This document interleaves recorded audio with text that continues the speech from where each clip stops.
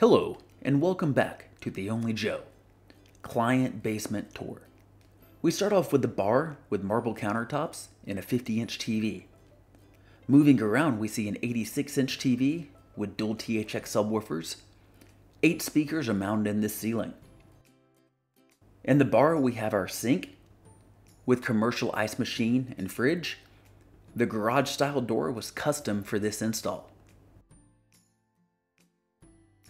Let's take a little walk to the home cinema over this beautiful epoxy flooring.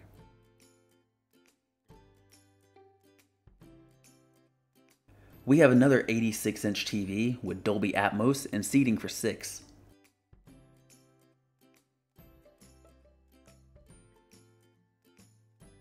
Here we also have the bulk of the AV and networking equipment, but not all. Due to space and design constraints, we had to hide the rest elsewhere.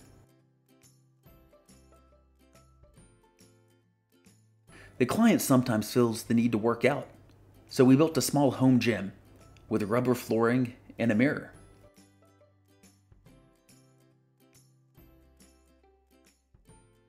While we go to the bathroom, did I mention how great this flooring looks?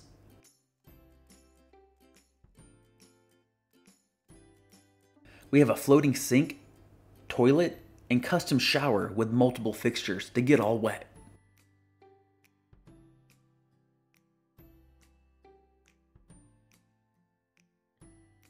Walk through the hallway with HVAC and storage on either side to get to the guest bedroom. And it's very, very special thanks to every sub that worked on this project. That concludes our tour. Thanks for watching, and don't forget to like or subscribe.